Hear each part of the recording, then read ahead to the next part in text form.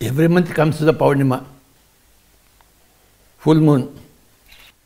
Every month it comes regularly to remind us of what we have to do, what we can do for ourselves.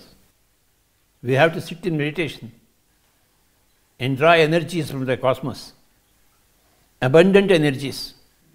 The whole full moon day is going west in the nature. It should be harnessed. All that energy should be harnessed. When you observe the breathing, the energy is harnessed and brought back to use. Energy must be used.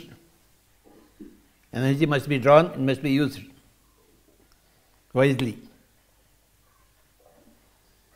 That's what we are all here for. So, full moon nights, cosmic energy is abundant. Infinite amount of cosmic energy is there, which energy runs the whole world, which is the fundamental energy. Cosmic energy is the fundamental energy.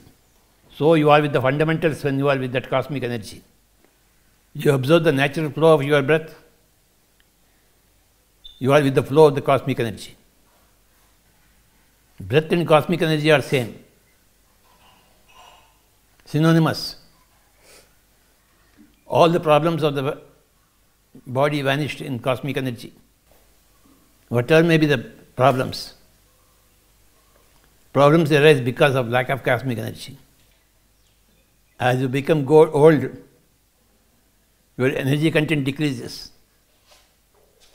naturally. When it decreases, when it crosses a limit, you die. That is a natural happening. If you don't want to die, you must keep up your energy balance. For this keeping of energy balance, this Paurnima days are very, very important. Every month they come. Three days, they are energize you.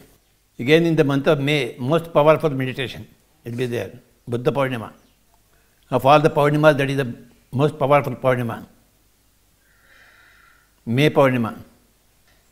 May 14th, 15th, 16th.